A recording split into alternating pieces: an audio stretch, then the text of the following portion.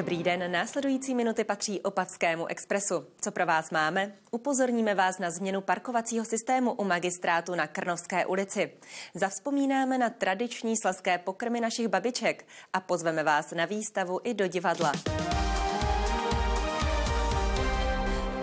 Rekonstrukce Millerova domu je doslova žní pro památkáře i archeology. Objevili tady nespočet zajímavostí, které pomáhají odkrývat minulost Opavy. Tento dům je vůbec jedinou a nejstarší připomínkou Opavského hradu, který jen kousek odtud stával. Nikdo jej neviděl, ale všichni o něm vědí. To je fenomén Opavského hradu, který byl postaven ve 14. století a později přestavěn na zámek. V 19. století byl zbořen. Mnoho historických odkazů na sídlo opavských knížat se ale nedochovalo. Rekonstrukce Millerova domu přinesla o existenci hradu přímý důkaz. Našli jsme tam eh, středověkou hradbu, která vlastně obklopovala město Opavu. Pochází ze středověku a je to vlastně hradba, na které byl potom postaven následně ten Millerův dům. Starý dům, který stál kdysi v areálu hradu a plnil funkci kuchyně, je doslova prošpikovaný zajímavými nálezy, které si vzali do péče archeologové, aby je očistili a zaevidovali. Našli jsme tam množství eh, keramických artefaktů a zvířecích kostí, které poukazují na to a potvrzují, že tam opravdu ve středověku byla kuchyň. Rekonstrukce začala sice už na konci minulého roku, ovšem neustále se tady objevují další a další zajímavosti. Překvapilo nás rozsah zachování těch jednotlivých konstrukcí. Takže to, že máme skoro všude zachované barokní stropy, trámové, záklopové, je fantastická záležitost. Tím ale nadšení památkářů nekončí. Jedlový krov drží střechu domu neuvěřitelných 300 let a patří k nejstarším dochovaným v Opavě. Jeho trámy zůstanou po rekonstrukci odkryté tak, aby si je návštěvníci mohli prohlédnout. Nejstarší krov v Opavě barokního charakteru z roku 1726, přesně zadatovaný. Millerův dům byl také sídlem správce zámku. Sloužil jako sípka či obytný dům. Jméno získal po jednom ze svých majitelů, právníku Millerovi, který zde bydlel. Rekonstrukce Millerova domu bude hotová v roce 2017. Poté by tady mělo vzniknout edukační centrum a také zázemí pro Slaské zemské muzeum. Kateřina Geriková, televize Polar Opava.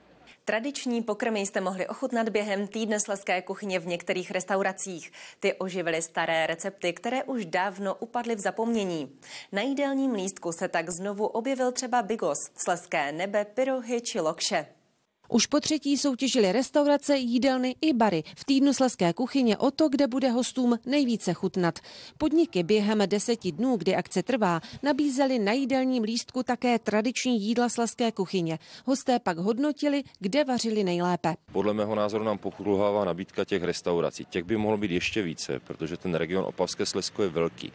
Osobně jsem spokojen s 23 účastníky, ale kdybych bylo 40, jak jsme původně plánovali, bylo by to ještě zajímavější. Většina podniků nabízela jídla v rámci poledního menu a tak jste si mohli dát třeba lokše s povidlovou omáčkou nebo grilované kachní prso. K tomu kroupové risotto a k tomu mám uh, malinovou redukci. Opravdu jsme se snažili dodržet tu tradiční recepturu, jelikož to je zaměřené na ty tradiční recepty, ale snažili jsme se to pojmout takovým tím novým moderním stylem. Zatímco tady jde o promyšlenou gastronomii, jinde dali přednost jednoduchosti. Také proto, že tento bar nemá vlastní kuchyň. Na jídelním lístku jste tak mohli najít třeba makovou bábovku, závin se zelím a nebo pomazánku z místních produktů. Tvaroh pochází z nedaleké kozí farmy farmy. Medvědí česnek je natrhaný u řeky Moravice a chleba upečený v pekařství o pár ulic dál. Snažíme se využívat uh, regionální potraviny a sezónní potraviny po celý rok. Máme na lístku stále a obměňujeme jakoby v závislosti na sezóně. Některé podniky se do týdne sleské kuchyně zapojily už po několikáté. Mnohé ale nabízejí sleské speciality nejen v tyto dny, ale i po celý rok. Stejně jako v loni nejvíce pochválných SMSek získal získal motorest R11 v Brumovicích. Od 1. května budou jiné podmínky pro parkování u budovy magistrátu na Krnovské ulici. Dřívější systém na parkovací lístky se mění na stání zdarma po dobu dvou hodin. Řidiči budou muset mít za sklem nastavené parkovací hodiny. O víkendu zde budou moci parkovat bez omezení. 71. výročí ukončení druhé světové války si připomenuli pamětníci i významné osobnosti v den osvobození Opavy 22. dubna. Boje o Opavu byly jedny z nejtvrdších. Město totiž bylo centrum Sudet a mělo pro německou armádu strategický význam. Na oblíbenou akci Den mláďat se letos stejně jako v minulých ročnících vypravili tisíce návštěvníků. Na školním statku střední zemědělské školy byly k vidění mláďata hospodářských zvířat, která se zde na jaře narodila. Nechyběly ani nejrůznější atrakce či soutěže pro děti. Dílo kontroverzního umělce Salvátora Dalího mohou obdivovat milovníci moderny v Opavském domě umění.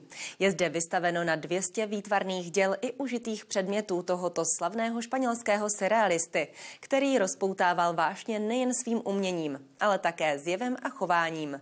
Bizardní, na první pohled možná nesrozumitelná, ale velmi podmanivá díla španělského surrealistického malíře Salvátora Dalího zaplnili Opavský dům umění od přízemí až po střechu. Najdete zde cyklus slavných litografií na motivy Danteho božské komedie, pak také některé slavné obrazy, třeba slony na vysokých nohách nebo roztékající se hodiny, a nebo také sérii obrazů, kterou Dalí věnoval své životní muze Gale. Tady za námi je osm grafik, eh, které se jmenují eh, Večeře pro Galu. To jsou grafiky, které se moc jako v České republice nikdy nevystavovaly. Dílo tohoto světově proslulého surrealisty mohou vidět opavané vůbec poprvé v historii. Mám na takové to modernější umění. Já znám tu práci, jsem už viděl jeho obrazy v jiných muzeích, teď je tady možnost vidět ty 200 exponátů. Mám ráda jeho obrazy, jeho umění a moc jsem se těšila na tuhle výstavu. Kromě výtvarného světa Salvátora Dalího, plného bizardností, metafor a symbolů, je tady k vidění i několik slavných fotografií, které vytvořil v 60. letech český fotograf Václav Chuchola, který se s malířem setkal v Paříži. Když se na ně podíváte, zjistíte, že jsou to snad ty nejreprodukovanější fotky eh, Salvatora Dalího na světě. Ho opravdu velmi zdařilé a do dneška eh, je prostě všude používají a my chceme mít tady taky. Na výstavě najdete také plastiky, flakony od parfémů a nebo také porcelán s motivy dalího tvorby. Možná trochu nepatřičně zde působí tato lízátka. Vysvětlení je ale jednodušší, než byste doufali. V roce 1969 totiž Dalí vytvořil logo cukrovinek Chupa Chups a tak je možná více než jasné, že její firma jen tak nezmění. Opera, která neměla být uvedena, to by se dalo říct o Bizetově Carmen, kterou má nyní na programu Slaské divadlo. Minulé vedení totiž její realizaci zrušilo. Po odvolání Karla Drgáče na konci loňského roku se ale slavná opera vrátila opět do hry.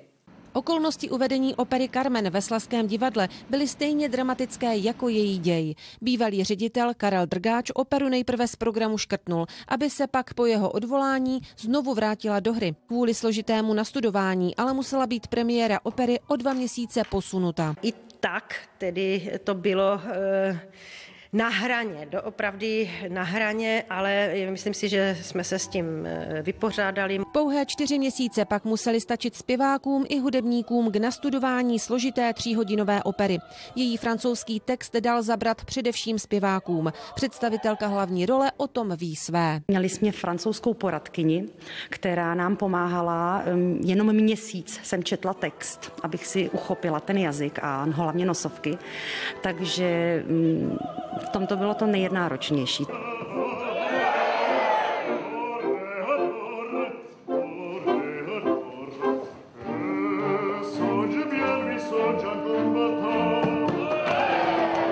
Carmen se na Prknasleského divadla vrací po 14 letech, opět v režii Jany Andělové Platichové. Pojetí je však zcela jiné než tenkrát. Dělali jsme ji doopravdy jako takovou potvoru, která prostě využívá všech svých předností a vlivu na muže ve svůj prospěch. Pařížská premiéra Carmen v roce 1875 se nesetkala s kladným ohlasem ani u obecenstva, ani u kritiky. Dramatický příběh osudové ženy, cikánky Carmen, která svede na cestí vojáka a pak za to zaplatí životem, se ale postupem času stal velmi oceňovanou inscenací. Je to nádherná muzika, nádherná hudba a myslím si, že jsme odvedli kus práce.